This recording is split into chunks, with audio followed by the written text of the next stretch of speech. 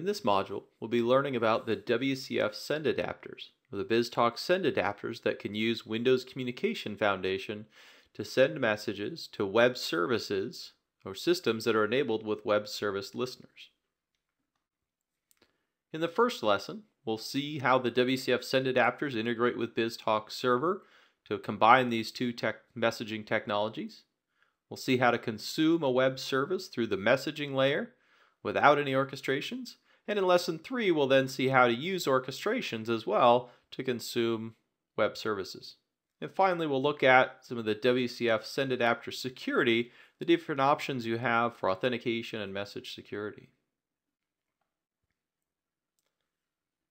The first lesson is focused on the various scenarios where you might use the WCF send adapters and an understanding of the send adapter architecture.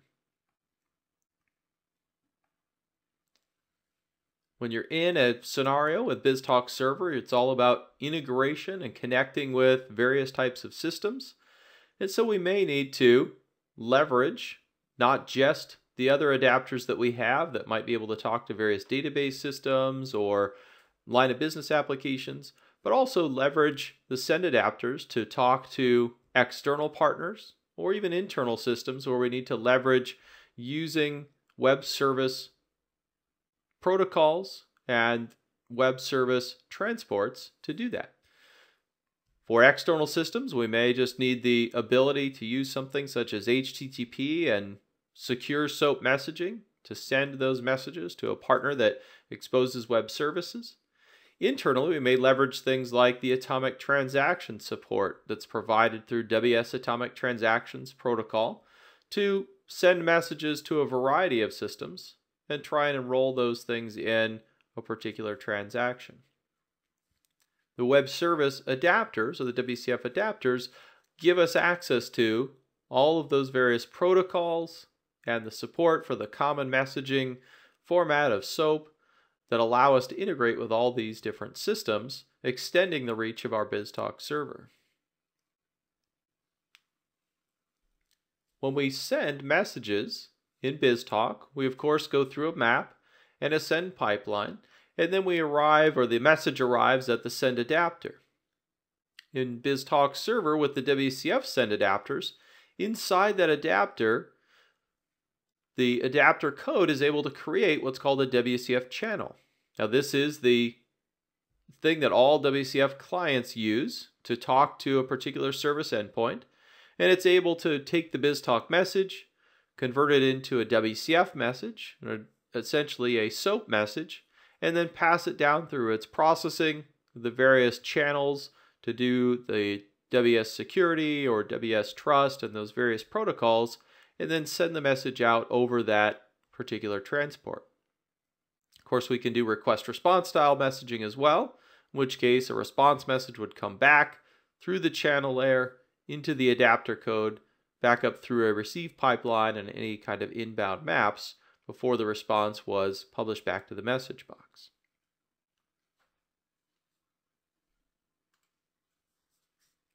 For our second lesson, we'll see how to consume web services using the WCF send adapters. We'll see how the BizTalk WCF service consuming wizard can help us in generating the artifacts we need, such as schemas, and then we'll use a demonstration to show you how to consume a web service. The process of consuming a web service is involves consuming a web service description language document. This describes all the various operations that are part of the service, gives us information about the namespaces for the service, and also provides us with a schema for any request and response messages that are expected in those various operations.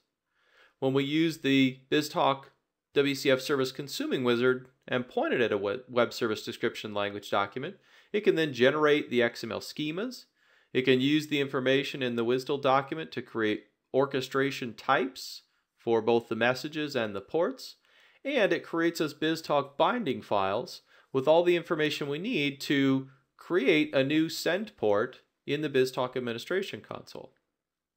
We do this from within a BizTalk project and all those generated files then become part of our project that we can version control and, and reference just like any other file. To start the web service wizard within Visual Studio, we're going to use the add generated item model to consume a WCF service, walk through that wizard, and then we can build and deploy the project. For this particular piece, when we're simply talking about messaging, that's really the bulk of what we need to do within the project. Then we pull in the binding file to get our send port, and we now have a messaging port that can talk to and consume a WCF service.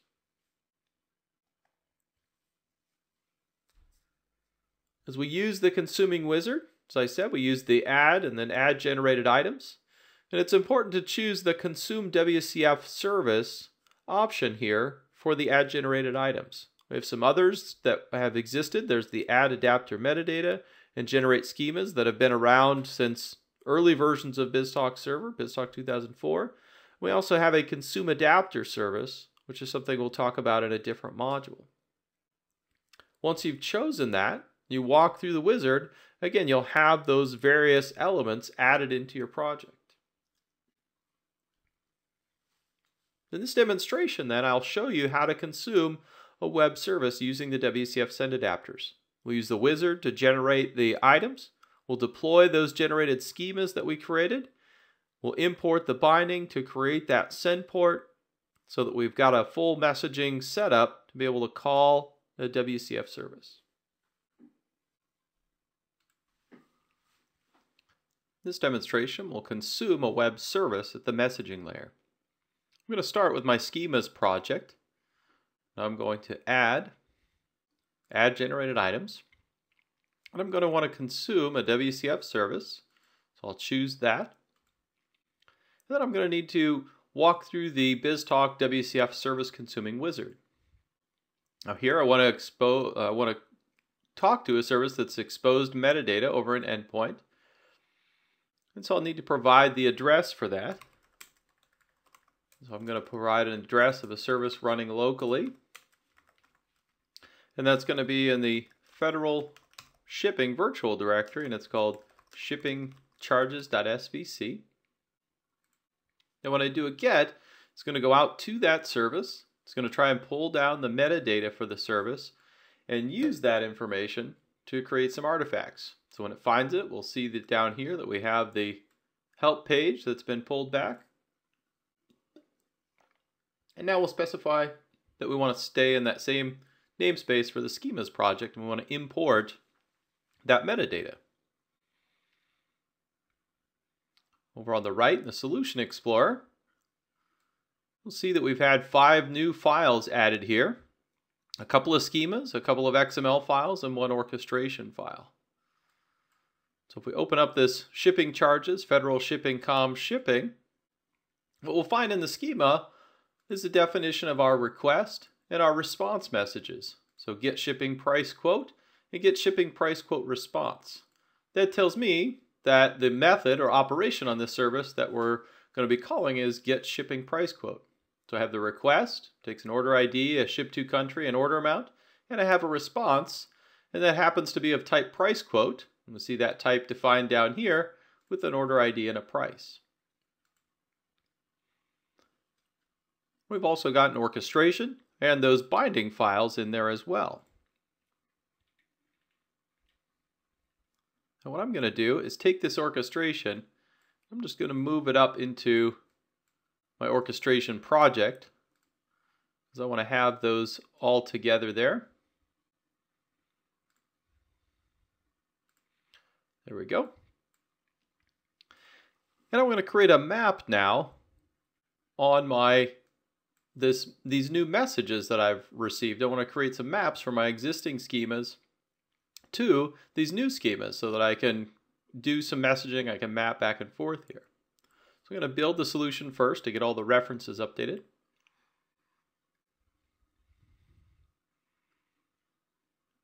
Now that that's done, we'll go up here to the Maps project and add a new map. I'll do new item and map.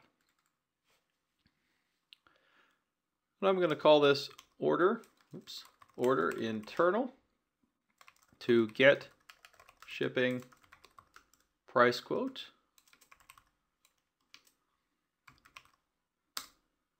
And when the map comes up, then I'm going to have to choose, of course, the source and destination here. So I'll choose the source schema. Go up to my schemas project. I've got a number of those schemas there, and in this case, I want to choose the order internal. And on the destination then, I want to go to my schemas. And I want to choose one of the new schemas now. So if we go into our schema that we looked at here, it's going to prompt me and ask me which root element or type I want to map to, and I'll choose the get shipping price quote. We'll just create a, a simple map here. So I'll go to the ship to and put the ship to country there. Do the order total to order amount. And for fun, we'll do a get to the string items here. And we'll concatenate together our customer ID and the order date. And we'll send those over as an order ID.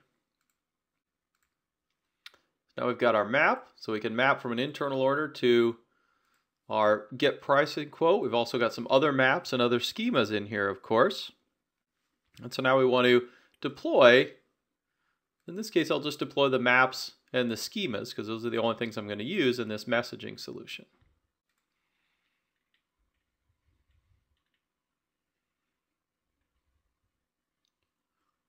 We'll wait for that to finish and then we can go into the administration console. So our deploy succeeded. And in the administration console then I'll go find my application.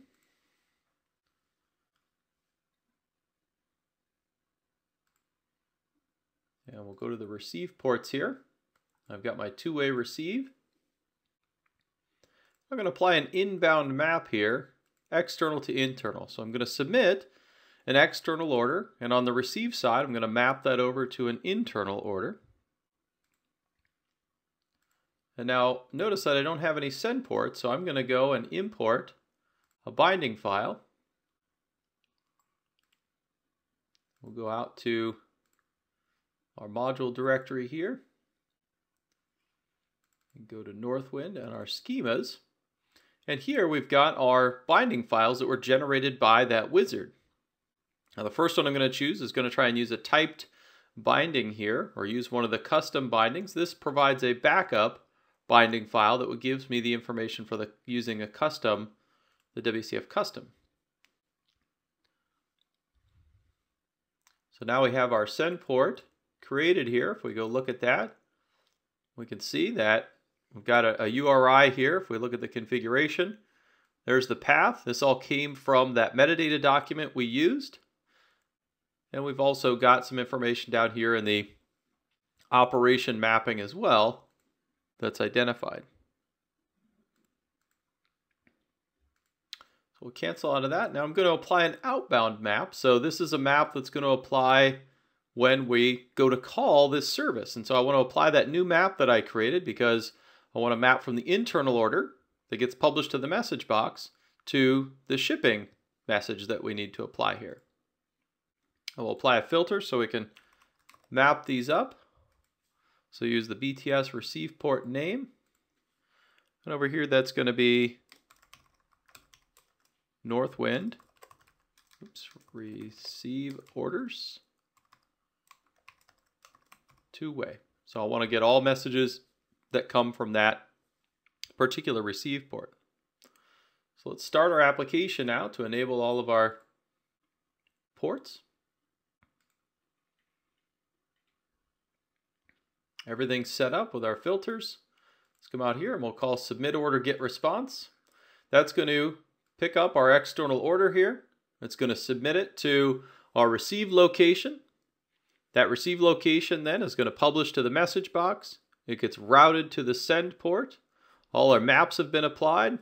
It goes over to the other side, and what we get back then is our actual SOAP message. So we can see that this went through the process. We didn't map it on the way back out. And right here we see that we have a get shipping price quote response and a result, and we can see there's a price and an order ID that comes back from there. So we've consumed a web service. We pulled in all the artifacts that we needed in terms of the schemas for the messages. We pulled in the binding file that gave us all the configuration we needed for the send port. And we're able to use standard routing inside of BizTalk and, ma and mapping of messages so that we could receive a message on a two-way port, send that over to the orchestration, or send that over rather to the web service and receive a response back at the client using BizTalk as our intermediary. In our third lesson, we'll take a look at consuming services from within orchestrations. So we'll see the various steps that we need to go through to do that, and we'll see how we can map the logical operations on a port in an orchestration to the actual actions, the SOAP actions that are important when we're trying to call a particular operation with web services. See how to format the request as well as select out particular content from the response message. And we'll see a demonstration of how to put all this together. When we're inside an orchestration and we want to call a web service, we're going to need a send port that represents that web service. It'll have all the operations that are available on that service as operations within the send port. The type definitions that we need within our orchestration for the port type and the message types will be generated for us by the WCF service consuming wizard. It doesn't just generate our schemas and our binding files for us, it also creates an orchestration and adds all the type information. So to do this, we'd first create a new configured port. We'll use the port type that was given to us. We'll create message variables and use the generated message types that we got from the service consuming wizard. And then we really get into typical BizTalk orchestration message processing. We need to construct the web service request message. We need to then connect, send and receive shapes to the port and configure them with the right messages. And as part of our orchestration processing then, we'll send messages out through a logical port. We'll receive messages back in for those request response style interactions. All just like we would with other types of messaging.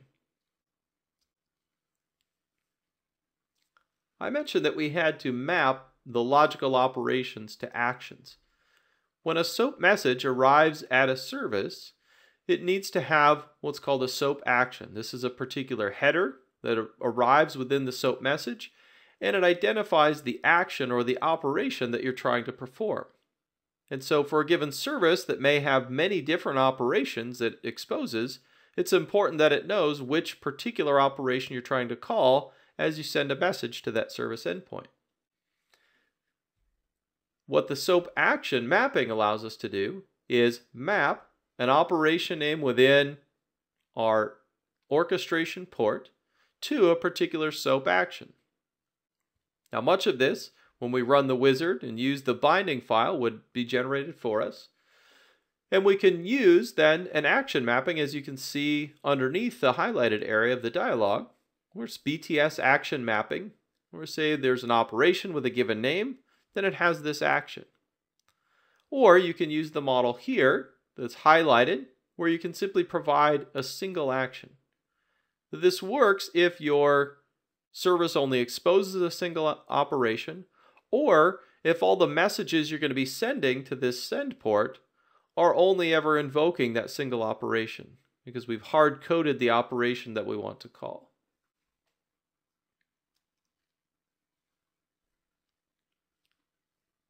When we send messages out, we have the option to send the BizTalk message as the body. That's the default option.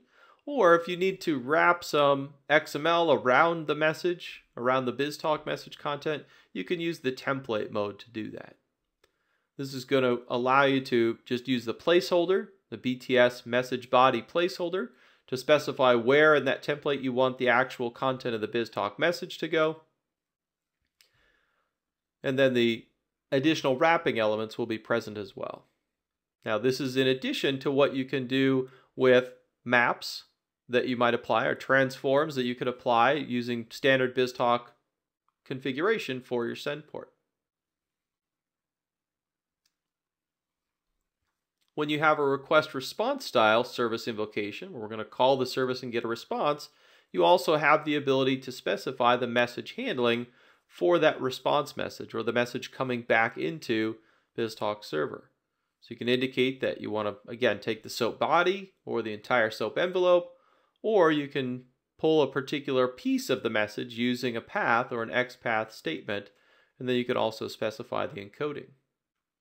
Notice also that we have this checkbox to propagate fault messages.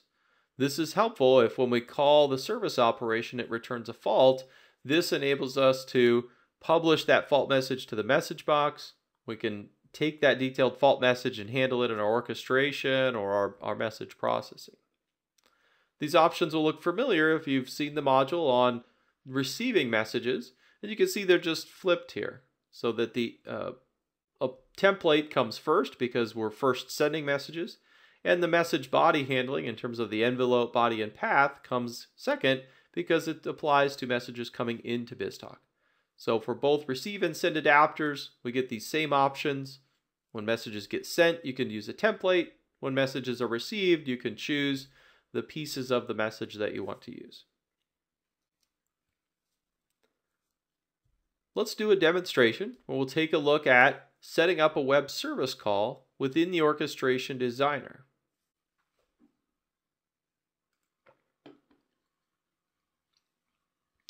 In this example, we're going to consume our web service from an orchestration.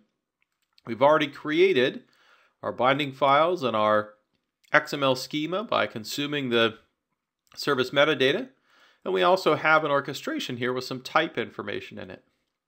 What we're going to do is update our routing orchestration to go out and call that web service to get back the shipping charges and add those on to our billing message. So the first thing I want to do is create a new configured port. This is going to be my logical port that represents the web service call. We'll call it shipping charges port. Now I'm going to look for an existing port type. And if we look, we'll see I have this shipping charges type. And you'll notice that it falls under the schemas namespace because it was originally generated in that project.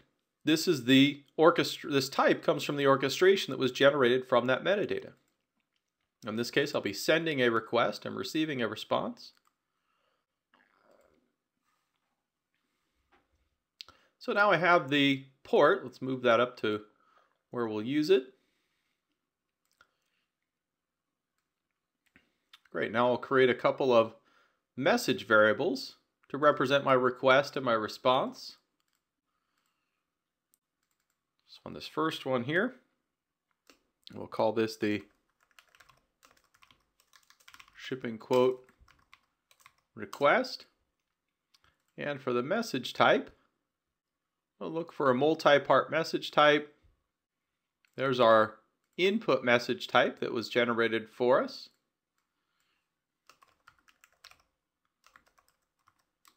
Call this one shipping quote response. We'll browse for that multi-part message type again. This one's going to be called shipping charges get shipping price quote output message.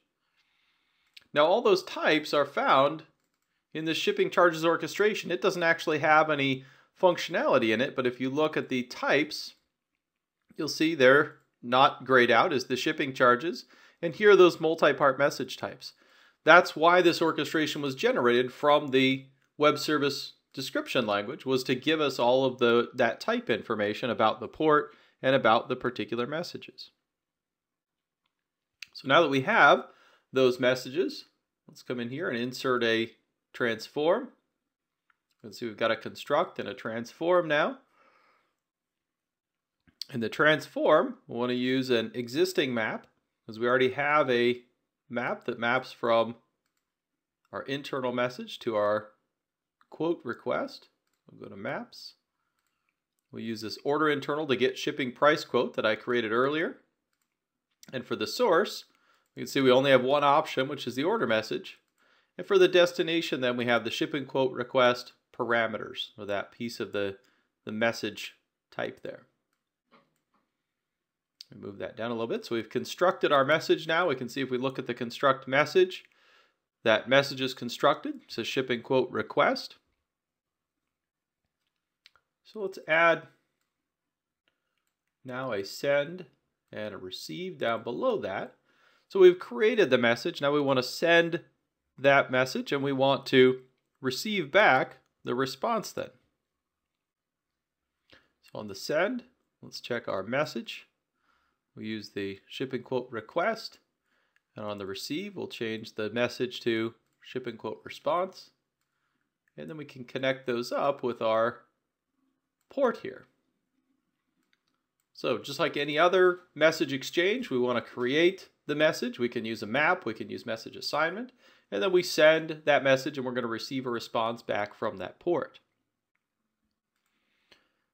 Now that we have that coming back, we're going to want to process that message that comes back in here. And that we know is going to be based on our schema down in here. And so I want to uh, actually come in here, show promotions. I want to go find in the response the price. I want to add that over here as a distinguished field. So I've simply taken the schema that was generated for me. Once we've generated that, we can come in and do all the same sorts of things. Let me just pull that up again. We can do all the same sorts of things that we do with other schemas because it's been generated. It's not going to change on us. We're not going to, we could regenerate it or replace it, but we'd need to go through these steps again. But I just want to promote that price now that we have in there so that I can use it in back here in my orchestration. So I'm going to come in and add a message assignment shape in here. I want to take that billing message and in there I have an order total. So I want to set that equal to itself. Plus, I want to get now the shipping quote response dot parameters.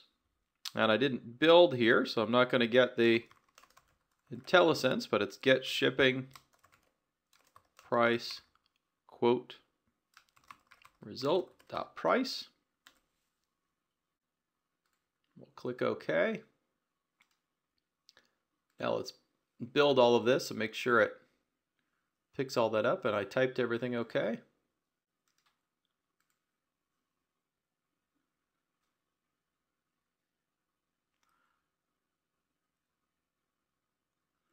It's building. Oh, doesn't look like it liked my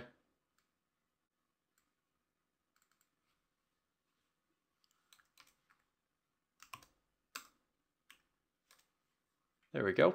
Little typo.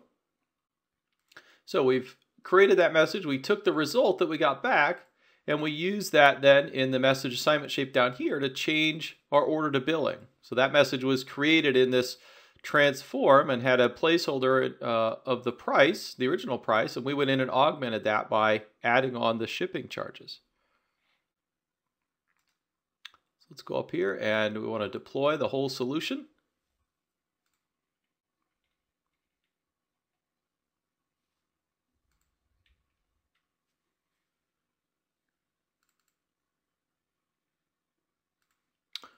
Oh, still doesn't like my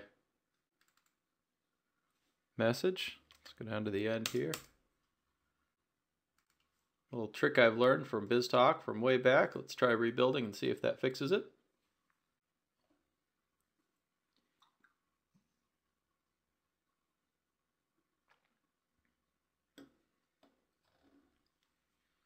Rebuild all succeeded and we can deploy. So what just happened there is sometimes when you have an error, I, I mistyped that uh, name the first time and it got the idea that there was a problem in there. And when I didn't really uh, change it, it continued to think there was a problem. And so I had to just go back and, and add a couple lines, or remove a couple lines, and that forces it to reevaluate that expression, which in this case caused it to see that in fact, I had fixed it up by correctly uh, adding in the name or adding that reference. So now that we've deployed, let's go back out to BizTalk Administration Console and we'll refresh to make sure everything's current out here.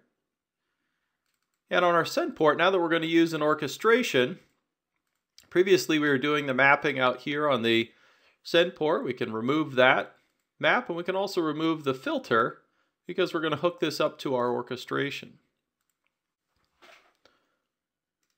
So let's go in and configure the application. Go to the route order here. I'll choose the host.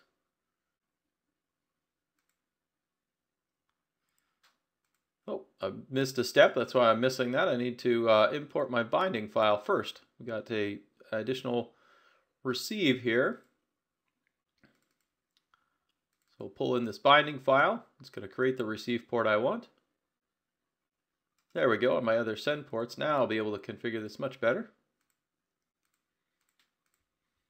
There's my receive port. I've got shipping. That's going to point to my port that uh, got set up for me by the binding file. I have my billing, my audit, my additional ports that I have in my orchestration. And on this orchestration, notice that this is the orchestration that had all the types in it. I have to supply a host because that's required, but there aren't any logical ports. There's no bindings. Really, I don't even need to start this orchestration for things to run. But if I go try and start the overall application, it'll fail if I don't specify the host for this particular orchestration. We should be able to start now that we have all that configured.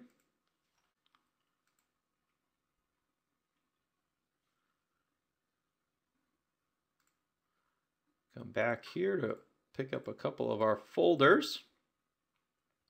We should be able to copy this file over.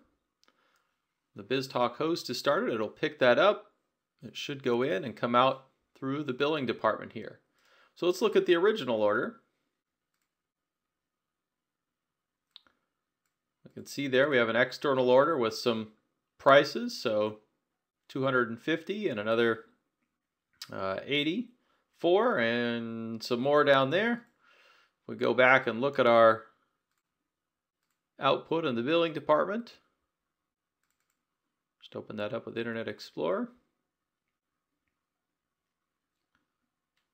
You can see that we've got now the order total over here where we've added in that price differential for the shipping charges that were calculated in there. So we've taken the artifacts that were generated by the consume WCF service wizard. We've created variables now in the orchestration for the port instance, the message instances. We've created that request message and sent it, received a response, and because we marked a field as a distinguished field, we're able to go into that response then and use that value to augment another message in here or to further process within our orchestration. In our fourth lesson, we want to focus on the send adapter security. So we'll see how you can configure the various service uh, options to apply security. And we'll see some security applied at the WCF custom adapter as well, where you have full control over the WCF configuration properties as opposed to a custom dialog from any of the other WCF adapters. On one of the custom adapters like the WCF Net TCP, you'll find a security tab and you'll be able to choose the particular security mode. This will generally be transport or message, and some of them also support a mixed mode or transport with message credential. you'll see that the UI is tailored to provide you custom options. So because message is selected as the security mode, the message security section is enabled it allows you to choose the client's credential type and the suite used to do the encryption and signing. If we change the security mode to transport, then we'd be able to choose the transport credential type and its protection level.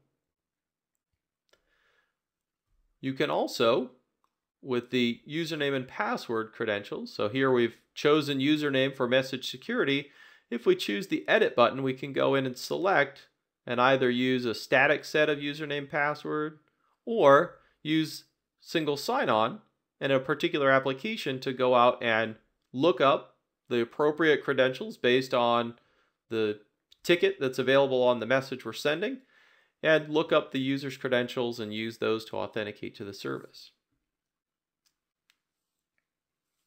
On the custom adapter, you'll see that if we go to the credentials tab we have the ability to specify username credentials in terms of single sign-on or a particular static username and password. We can also use the Behavior tab for other types of credentials, so things like a client certificate perhaps or an issued token. We'd have to go in and configure that WCF endpoint behavior to apply those credentials appropriately.